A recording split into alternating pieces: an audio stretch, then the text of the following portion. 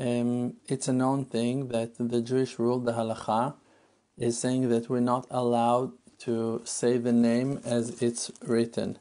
Yud K Vav K, to read that name, to say it out loud as it is written, is something that we're not allowed to do.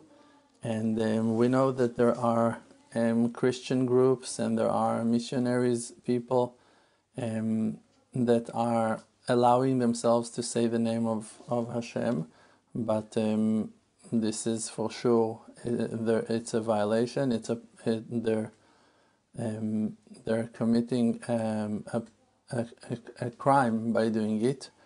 It's a very wrong thing to say the name of our God as it's written with Yud K Vav K, with the letter Yud and the letter Hey and the letter Vav and the letter Hey. When you do want to say the name of God, the name of Hashem, so then what you're allowed to do is to call him in the name that we say Adonai. To say Adonai while learning Torah or while praying to God, this is something you can say. You can call him in that name. You can call him Elohim, you can call him Adonai, you can call him in other names, but not in that name of Yud K Vav K. We say, even when I say the name instead of saying Yud and then Hey. I'm not saying Yud and then saying Hey and then saying Vav Hey. I'm not saying that. Why?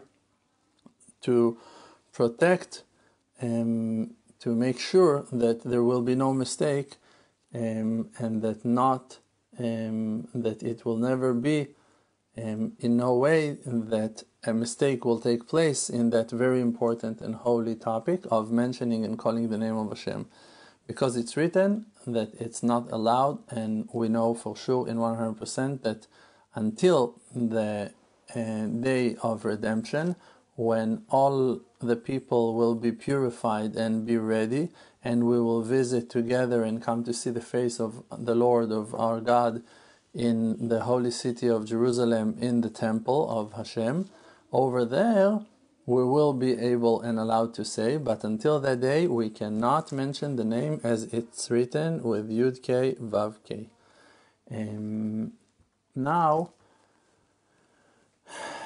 in your thought, you're allowed to think about that name. In your thoughts in your thought, you're allowed to call Hashem in your thoughts in that in that name as well. You're allowed to think that name. And to think about that name means that you're allowed to just like literally call Hashem in your thoughts, using that name in your thoughts, but not in your speech, not to express it with your mouth, with your lips. Never to say Yud K Vav K with your mouth.